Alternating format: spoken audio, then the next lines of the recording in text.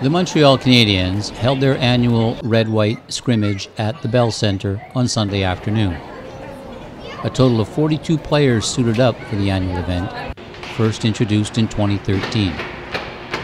Price of admission a minimum of $10 for a pair of tickets to the scrimmage, and that included a free sandwich, chips, and a drink.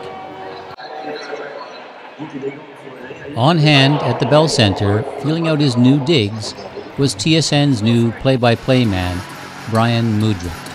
Habs fans, what's up? My name is Brian Mudryk. I'm very proud to be your new Habs on TSN play by play guy for TSN.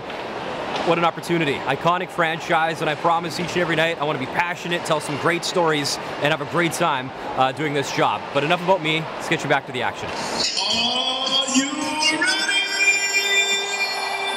What a great way to catch some of your team favorites, as well as some of the new faces at the Bell Centre Ice before the start of the NHL preseason. Proceeds from the event go to the Bleu Blanc Bouge in Action program, an initiative developed by the Montreal Canadiens Children's Foundation and supported by Canadian Tire Jumpstart Charities.